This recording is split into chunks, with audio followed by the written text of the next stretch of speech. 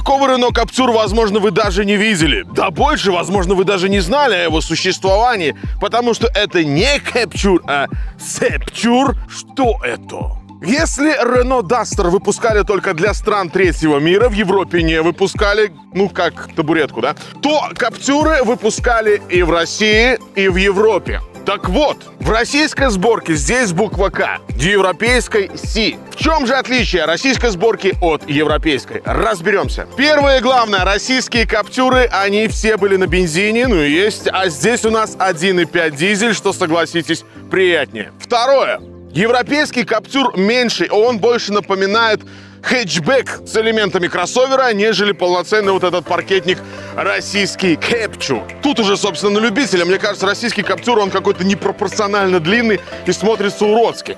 Здесь прям смотрится, как оно надо, как вот дизайнеры рисовали. Европейка мне нравится больше.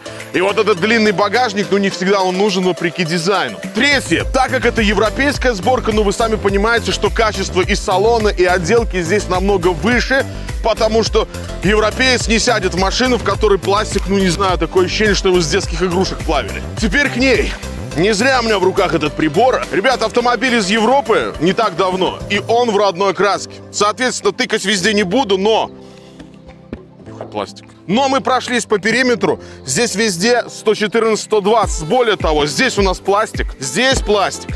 Здесь пластик, но остальное все бьется не больше 150. Экспонат. Механика, 2014 год в идеале. Ну и добивать буду контрольным. Тузы достаю, джокеры.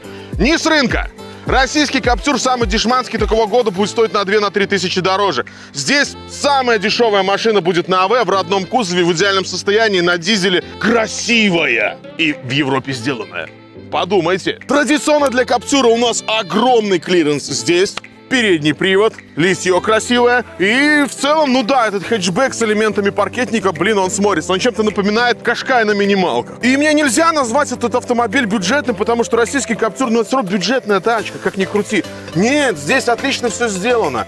Это отличный, хороший французский, блин, кроссовер, маленький, да, но он классный. Здесь не про размер, здесь про качество.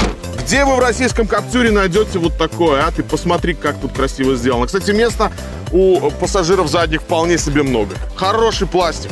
Место для пассажира и водителя тоже немножко отличается.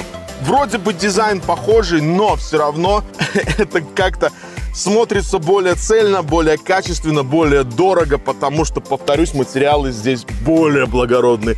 Кстати, здесь и платформа другая. Российский на B0, а здесь уже платформа Clio. Она мягче, она едет приятней, приятней рулится. Ну, потому что B0 это табуретка логановская. Да, неубиваемая, да, надежная.